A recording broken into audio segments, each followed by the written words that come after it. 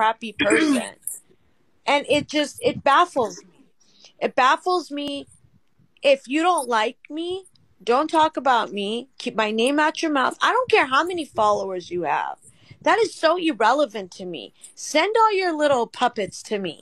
Have them talk shit. Have them report me.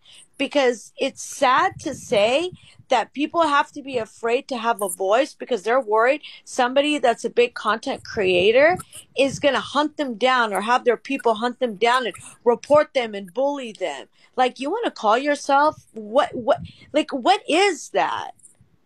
Like I'm confused. Make it make sense to me. That right Sorry. there is why I didn't I want said what I said.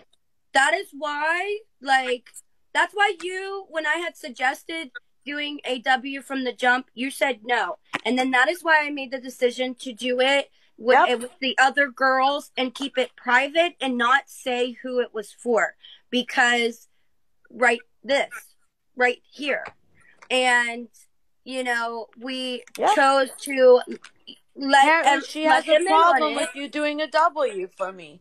Yeah. Like I'm trying to do something good. I have no issues with that woman. I've never like I don't know her like that.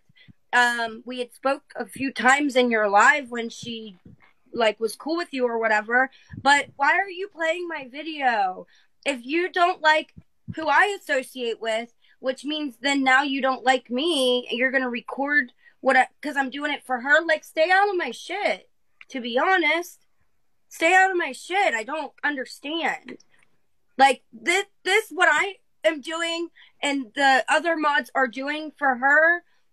If you don't like her, well don't buy. Don't play. Don't do it.